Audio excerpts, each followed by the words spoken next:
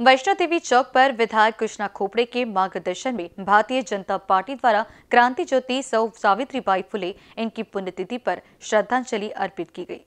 श्रद्धांजलि सभा का आयोजन भाजपा पूर्व नागपुर प्रसिद्धि प्रमुख मनोज अग्रवाल द्वारा पूर्व नगर सेवक हितेश जोशी की अध्यक्षता में किया गया। सर्वप्रथम पंडित आशीष मर्जीवे ने हितेश जोशी के हस्ते सावित्री बाई फुले के तैल चित्र का पूजन व माल्यार्पण कराया। भाजपा प्रभाग अध्यक्ष मछिंद्र सिलेवार ने सावित्री बाई फुले के जीवन पर प्रकाश डाला। अशोक सोमानी ने भी सावित्री बाई फुले के बारे में अपने विचार व्यक्त किए। आशीष मर्जीवे के साथ सभी ने सावित्री बाई फुले अमर रहे के नारे लगाए। अंत में पूर्व नगर सेवक हितेश जोशी मचिंद्र सिलेवार, मनोज अग्रवाल, संजय रावल, आशीष मर्जीवे, मधुसूदन साडा, संदीप डेंगला अशोक सोमानी, दीपक पांडे ने उनके तैल चित्र पर पुष्प अर्पित कर श्रद्धांजलि अर्पित की। इन न्यूज़ के लिए अभिषेक पांसी की रिपोर्ट।